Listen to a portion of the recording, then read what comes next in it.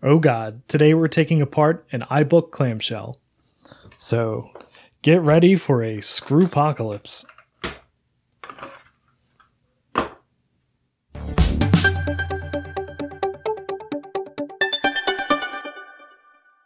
So this is my iBook G3 clamshell 466 megahertz special edition uh, that I picked up and actually got in the original box and showed that off in a previous video. Uh, and this is a very special laptop because uh, it's the very last and fastest of the clamshell iBooks to come out. Uh, so this came out in the year 2000, and it's the only one of the iBooks iBook clamshells to have a, a factory DVD ROM drive, and more importantly, FireWire. So it's very easy to tinker around with this, put it in target disk mode. Actually, I did that to install Tiger on here. Um, but unfortunately, there was a bit of a problem with the power jack, and of course, the battery is dead. So I was going to take this apart and resolder that power connector, but I'm pretty lazy and impatient, so I just went ahead and bought a new one on eBay because fortunately the power DC jack is on uh, a little daughter board here. So who knows? Maybe the daughter board is just loose in there. Um, and if so, we'll just push it down or uh, we'll replace it with this one. And then, you know, either way, we'll have a spare one of these, which can't hurt. And this was just a, a couple bucks on eBay. And while we're in there, we're going to put in an M.2 SSD or a mini PCI mSATA SSD, uh, 60 gigabytes. And we're going to do that with this nice IDE adapter enclosure, uh, which should fit right in there with that uh, original hard drive. So, unfortunately, if you've never taken apart one of these things before, uh, it's a huge pain because in order to get to the hard drive, you have to take literally the entire machine apart. So the hard drive is at the very bottom of the computer, but there's no access from the bottom. So you have to take off the keyboard and the palm rest and all the shielding in there. You actually have to take the screen off. Uh, and there's like 50 some odd little tiny screws, and they're all different. Uh, so it's a huge pain to do, but I love this guy. So we're going to do it. And I don't intend this video to be like a walkthrough of how to take one of these apart or replace the hard drive. Uh, but if you'd like to do that, uh, I'm going to link a video down below from the 8 bit guy from a number of years ago, but it's probably the best walkthrough on taking one of these things apart uh, that I've ever seen. And I've watched it a couple times uh, in preparation for our project today. So let's get stuck in. Okay, so I've got all of my tools here. Um, some of which are required, some of which will just be helpful. So, of course, I have my fix it kit with lots of different heads, drivers on here, uh, including the Torx T5, which we're going to need for a lot of those screws. And then some way to keep all those screws organized. I have my handy dandy official ice cube tray screw holder. Um, I have a five millimeter nut driver. Um, which we're going to need in a couple of places. And if you don't have one of these, uh, you can use pliers for some of it, but it's super annoying.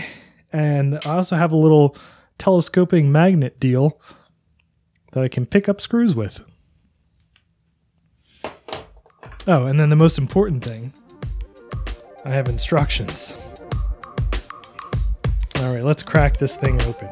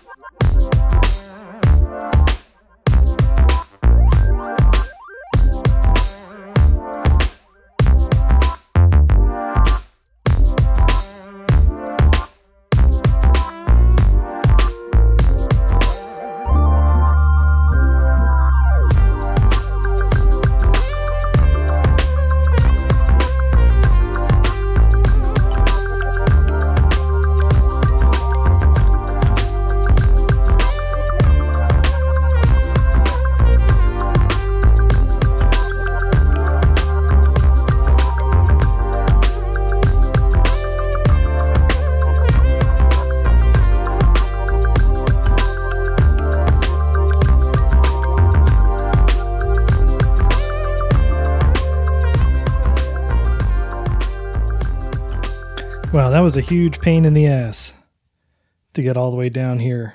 But here it is, the hard drive in the bracket. This is yeah, just the factory 10 gig hard drive. So now we can get our new drive ready.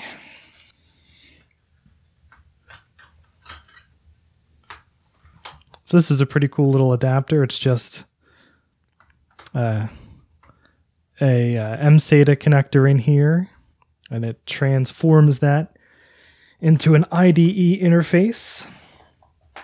And then we've got our little uh, 60 gig drive right here.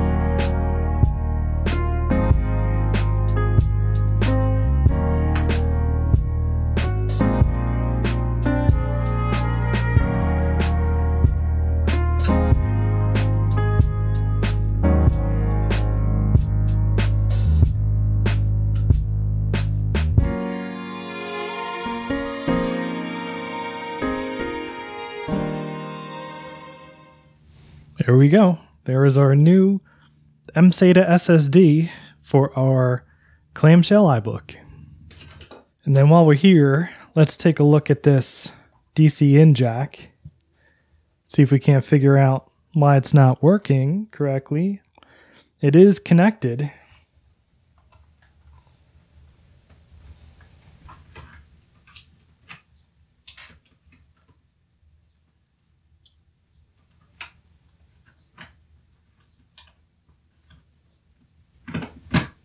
All right, so I do see a little bit of an issue here.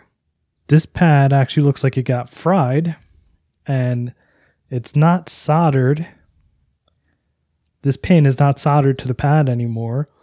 So when you put the power cord in, if you twisted it just right, it would make the connection again and then uh, it would lose it. So I'll fix this later, but for now, let's toss in the new one.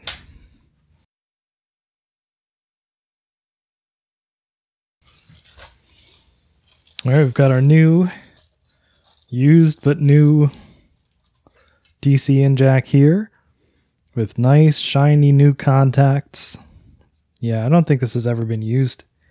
So that's awesome. Well, let's get this in there and then put this monster back together.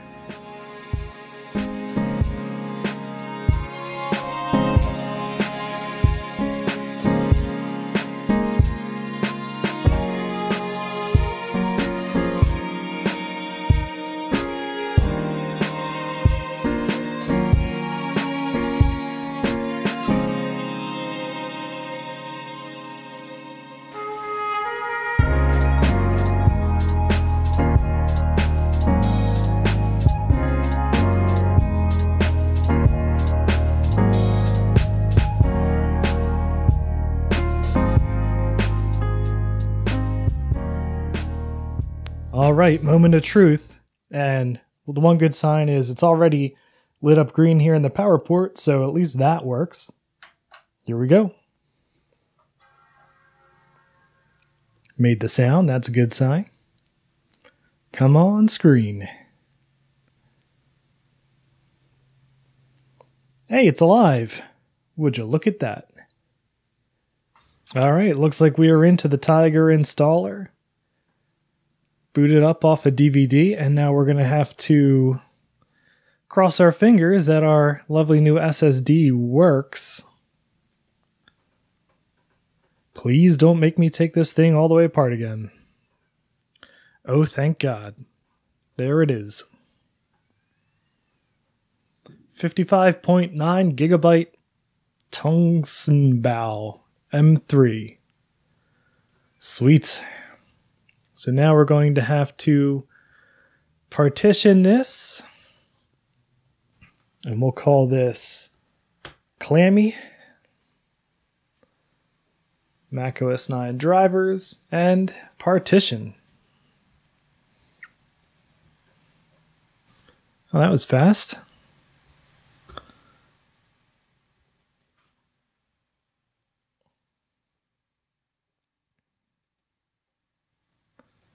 All right, continue, agree, install to Clammy.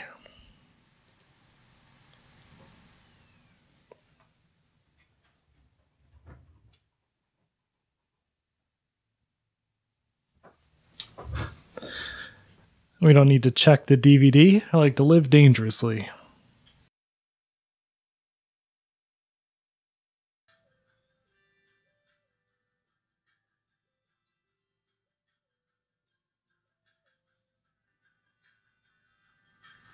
Hey, look at that. We did it. We saved this clamshell iBook. We've got an SSD in here. We have 10.4 Tiger on here and our 576 megs of RAM. All right. Well, at this point, it is just about beer o'clock, and I need to play some Fallout 2. So, thank you very much for watching this video. Uh, if you enjoyed it, I'd appreciate thumbs up. And if you'd like to see more, please subscribe, and I will see you in the next one. Goodbye.